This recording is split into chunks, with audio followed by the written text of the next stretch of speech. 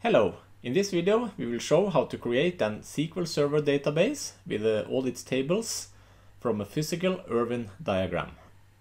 In an earlier video we created an ER diagram like this uh, in Erwin and uh, in the logical model and we can go to the physical model and, and then we see this one transformed to a physical model with uh, primary keys, foreign keys, data types, etc. And from this model we can let the Erwin create a script that can be used to create the table structure in for instance a SQL Server. And then we go to actions and uh, we can uh, connect uh, to our database by this menu choice, database connection. Here we have to specify our server name. We could also connect directly to our database if uh, we had one already created. But uh, for now we want to let the script create the database. So we leave that field empty, but we have to specify the server name. And then connect. And Erwin will now make a connection to our database in SQL Server. Be sure that you have uh, the SQL Server um, up and running, else you will have an error. And then go to actions uh, once more and uh, select forward engineering and schema.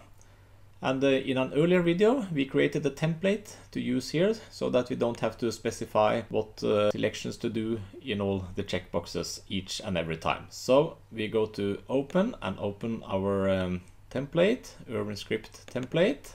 And then we can uh, preview our script initializing and uh, now Erwin is creating a script for creating all the tables. And before we run it we can uh, modify it if we also wanted to uh, create uh, the database. Here I write create database sensor database and go to specify that it shall execute these instructions.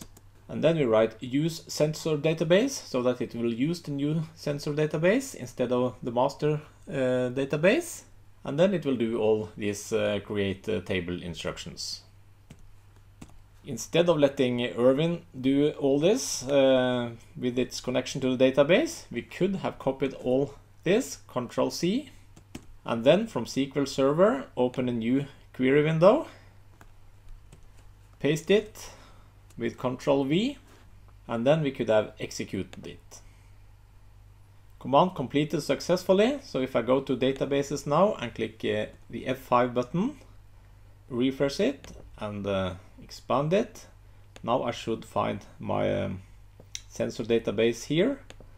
And if I go to tables, then I will find all the tables, all the five tables.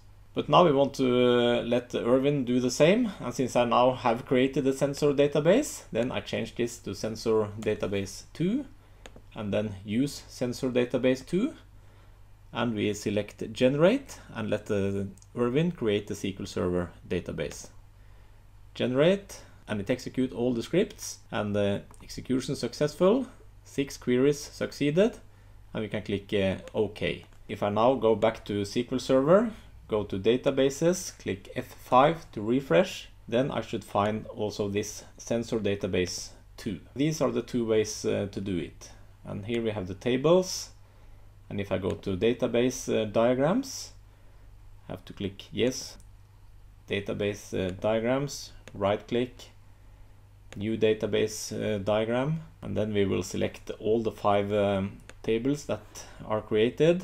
Click uh, add. And it will add uh, all these uh, tables to the diagram and we can uh, then close this one and we will see that all the relationships also have been created. After having uh, connected to a database from Erwin, you should also uh, disconnect this connection. So then go to Action and the data database connection and then uh, select Disconnect, click on that button and the database will be disconnected. So then we have um, created an uh, SQL Server database uh, from a physical model created in Erwin.